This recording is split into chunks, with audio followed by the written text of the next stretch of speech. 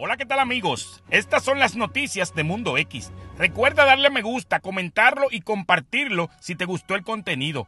Comenzamos. Asesinan joven de 27 años en Humacao. El mismo no tenía antecedentes penales.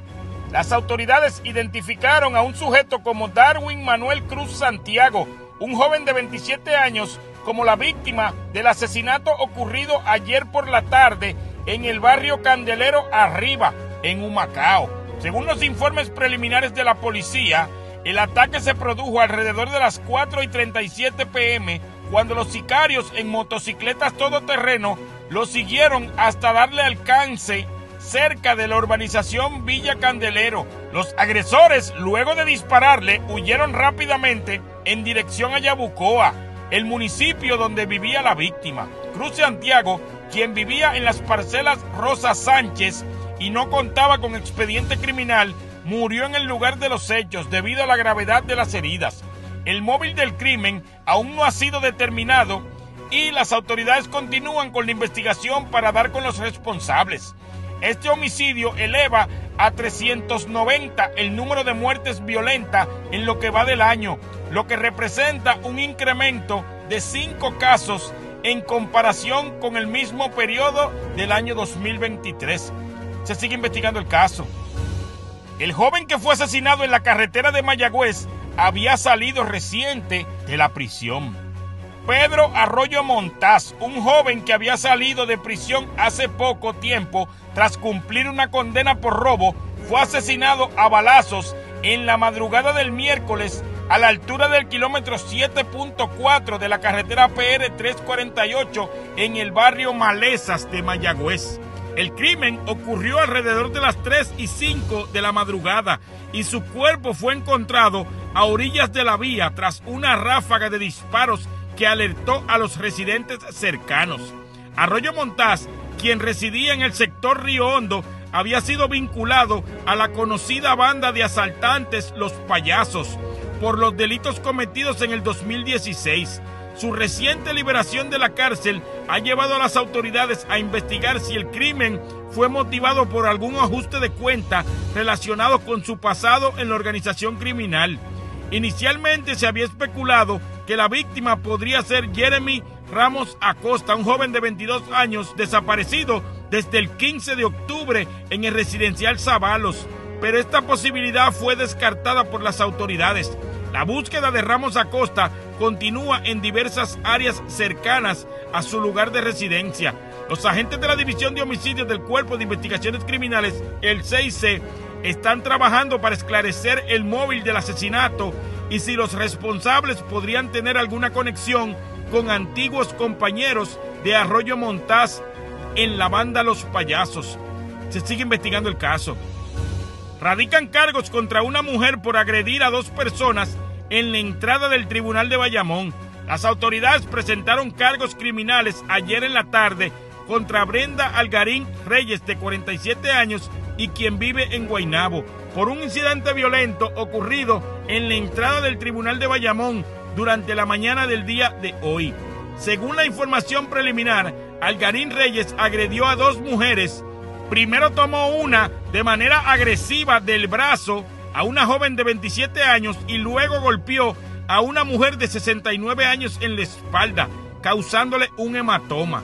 El caso fue investigado por el agente Torres, adscrito al precinto de Bayamón Norte y consultado con el fiscal Alberto Cruz, quien presentó cargos por agresión en violación al artículo 108, maltrato a personas de edad avanzada, y al artículo 127, amenaza o intimidación a testigos del Código Penal de Puerto Rico.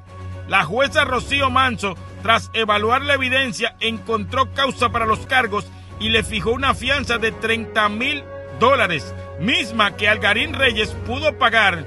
La acusada deberá comparecer nuevamente en el Tribunal de Bayamón el próximo 4 de noviembre para la vista preliminar. Se sigue investigando el caso.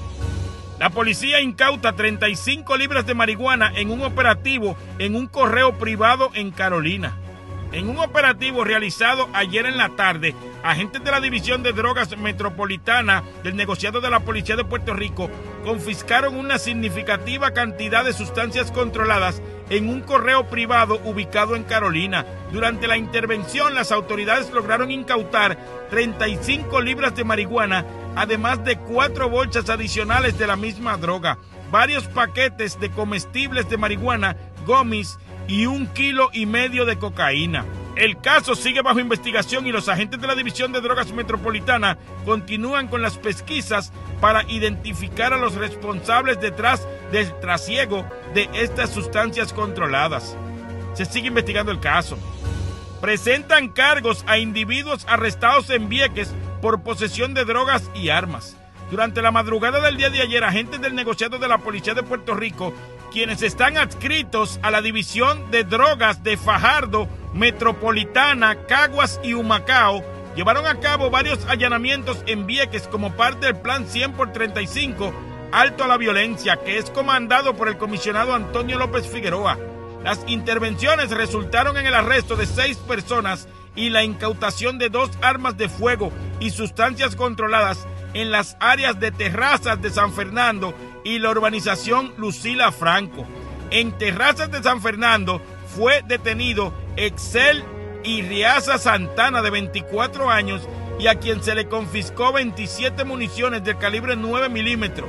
La Fiscalía de Fajardo le impuso cargos por violación a la ley de armas. El caso fue presentado ante el juez Alexander Espinosa, quien encontró causa para arresto y le fijó una fianza de 7 mil dólares, misma que pudo pagar quedando en libertad provisional hasta la fecha del juicio. En otro allanamiento realizado en la calle 2 de la urbanización Lucila Franco, fue arrestado José Orlando Torres Colón de 21 años. A este se le ocuparon 14 municiones del calibre .40, dos cargadores, marihuana y seis pastillas. La Fiscalía de Fajardo le presentó cargos por violación a la ley de drogas y violación a la ley de armas y le impuso una fianza de 7.500 dólares. Torres Colón también logró quedar en libertad luego de pagar la fianza. Los agentes de la División de Drogas de Fajardo lideraron las investigaciones en ambos casos que continúan su curso. Se sigue investigando el caso. Mujer enfrenta cargos en Coamo por presunta violencia doméstica y maltrato a un menor. Agentes de la Policía de Puerto Rico, adscrito a la División de Violencia Doméstica del área de Ponce, presentaron cargos contra Karen Hernández, de 37 años y residente de Coamo, tras una investigación que concluyó en la tarde de ayer. Hernández enfrenta un cargo por maltrato mediante amenaza en violación al artículo 3.3 de la Ley 54 de Violencia Doméstica y un cargo por maltrato según el artículo 53A de la Ley para la Prevención del Maltrato a Menores en Puerto Rico. De acuerdo con la investigación, el denunciante, expareja de Hernández, afirmó que la acusada envió mensajes de textos tanto a él como a su hija en los que amenazaba con suicidarse y con asesinar a su otro hijo menor de edad. El caso fue consultado con la fiscal Natasha Muñoz, quien radicó los cargos correspondientes. La jueza Carlia Soto Padua del Tribunal de Ponce encontró causa para arresto y le fijó una fianza de 4 mil dólares con supervisión electrónica, misma que fue pagada por la acusada. Además, se emitió una orden de protección y la vista preliminar ha sido programada para el 7 de noviembre de este año. Se sigue investigando el caso.